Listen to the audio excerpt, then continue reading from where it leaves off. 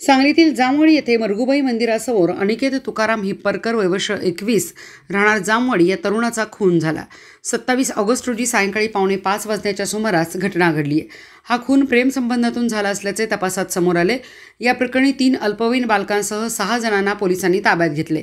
मंगेश उर्फ अवधूत संजय आरते राहणार वयवर्ष सत्तावीस राहणार मरगुबाई मंदिराजवळ जामवाडी जय राजू कलाल वयवर्ष अठरा पाच महिने राहणार उदय मटन शॉपजवळ पटेल चौक जामवाडी आणि तीन विधी संघर्षग्रस्त बालक अशी ताब्यात घेतलेल्या संशयितांची नावे आहेत.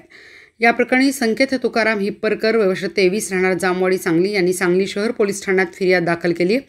खुनाच्या घटनेनंतर पोलिसांची तपासाची सूत्रे हलवत अवघ्या काही तासात सांगलीत कृष्णा नदी काठावरून सहा जणांना शिताफीने पकडून कुश गुन्ह्याचा तपासकामी ताब्यात घेऊन अटक केली आहे.